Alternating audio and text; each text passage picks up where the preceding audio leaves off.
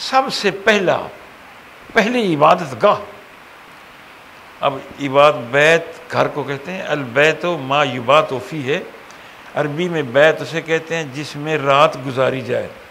اور خلا کے کائنات فرماتا ہے، میرے گھر کو پاک صاف کرو، تو کیا خدا رات گزارتا ہے؟ نہیں۔ اللہ تعالیٰ جل مجدو اس سے پاک ہے۔ یہ اضافت ہے، اسے تشریفی کہتے ہیں، عزت کے طور پر اضافت ہے یہ۔ میرے گھر کو پاک صاف کرو، یہ عزت کے طور پر فرمایا گیا۔ سب سے پہلی عبادت گاہ بیت المامور ہے۔ سب سے پہلی عبادت گاہ بیت المامور ہے۔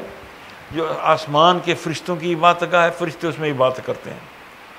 اس کے بعد دوسری عبادت گاہ زمین کے فرشتوں نے جب آسمان کی عبادت گاہ کو دیکھا ہے اور فرشتوں کی عبادت کو دیکھا تو بارگاہ قدس میں کہ یا اللہ، ہمیں بھی اجازت دے، ہم بھی عبادت گاہ بنائیں اور اس میں تیری عبادت کریں۔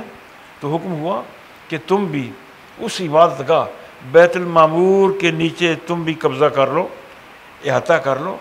فرشتوں نے، زمین پر رہنے والے فرشتوں نے بیت المامور کے نیچے کعبہ شریف کا دائرہ کھینچا ہے اور یہ دوسری عبادت ہے۔ عبادت گاہ دوسری۔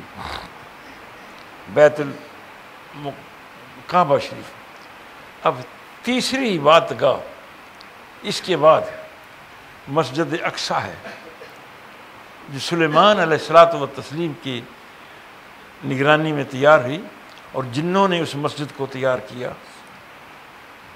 اور چوتھی عبادت گاہ روئے زمین کی مسجد قبا شریف ہے۔ کائنات کے شہنشاہ ہجرت کر کے مکہ مکرمہ سے ہجرت فرما کر مدینہ منورہ جاتے ہیں۔ اس وقت یسرب تھا۔ تو اس جگہ جو مسجد بنائی، اس کا نام مسجد قبا شریف ہے۔